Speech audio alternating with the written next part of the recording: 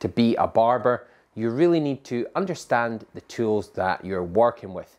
So I'm going to go over the most humble of tool. I'll explain it to you and I'll explain the different variations and what to look for as well when you're looking for a scissor.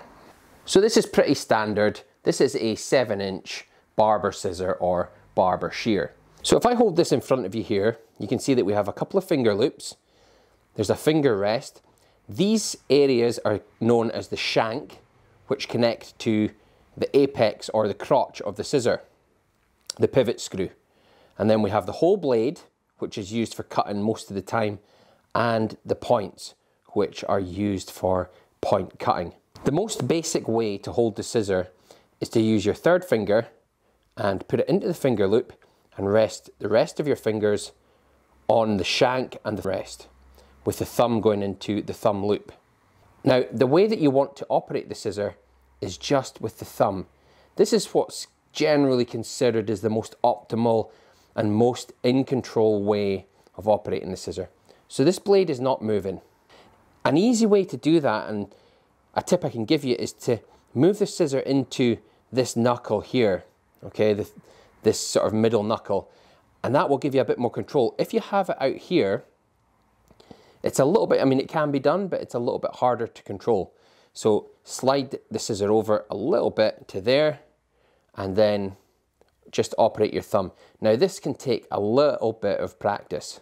The reason I want you to operate it just with your thumb is because this blade will quite often work along the spine of the comb.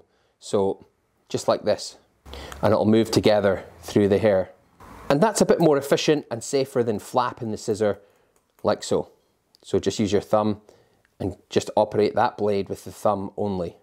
What you must always keep with your scissor is a little pot of oil, scissor oil, and a chamois leather like a rag. Regularly throughout the day, you'll probably want to wipe your scissor with the chamois leather just to clear any debris, any cut hair, any product off of the blade. And you can also apply a little bit of oil. So to apply oil, you simply open the scissor and just put a little amount just in the crotch area of the scissor around the screws on both sides. And that's something at the bare minimum I recommend you do every morning before you start cutting hair. That will prolong the life of your scissor. Most standard scissors have about three different types of blade. There's the convex blade, which is considered the finest blade. They can be a little bit more expensive because they tend to be made out of a higher quality steel that will hold a very, very fine edge something like VG10 steel or Damascus steel. It is a little bit more brittle, so they can need sharpening and maintaining more often. Then there's the traditional bevel edge scissor. If I open my scissor like that and I point one of the blades at you there and we take a cross section of the convex blade, this is kind of what it would look like. It comes into a point on the cross section. The other more popular scissor is the bevel edge scissor, which would be like a German style scissor. And the bevel edge, when pointed at you, looks a little bit more like this on the cross section. So you can see the difference between the two. And they both cut very well. The bevel edge scissor can be a little bit cheaper, but still an effective scissor. The other and final scissor that I would mention is a serrated edge scissor.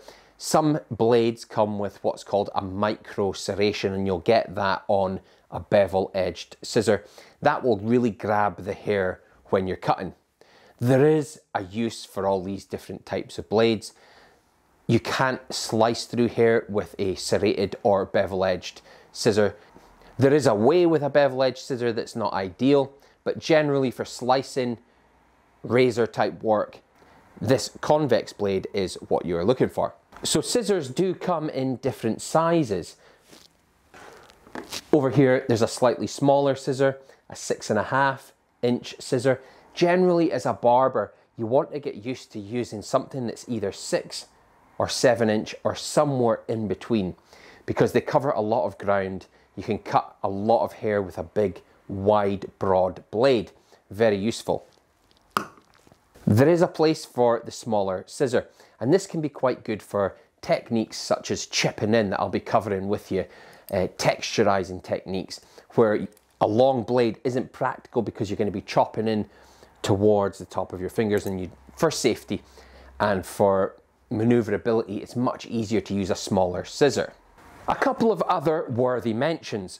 The thinning scissor that loads of barbers use nowadays and it's loved by a lot of barbers. It's used for many different things. It can be used for good or it can be used for great evil as well, okay?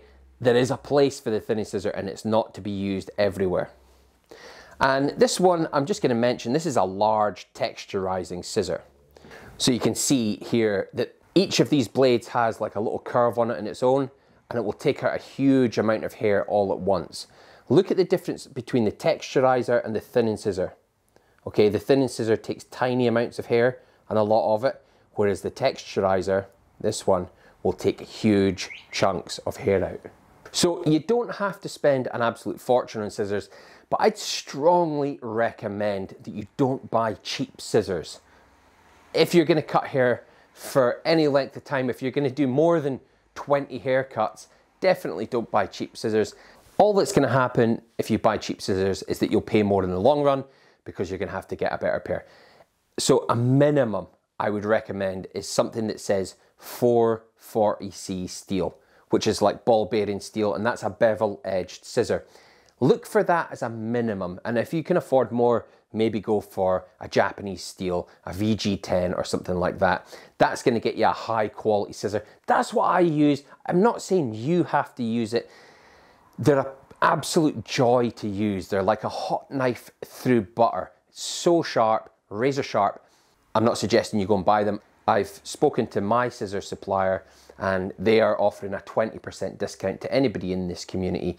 You don't have to use it, it's available to you and even though their scissors are very expensive, they are high quality and there is a discount if you do choose to go down that way as part of the community here.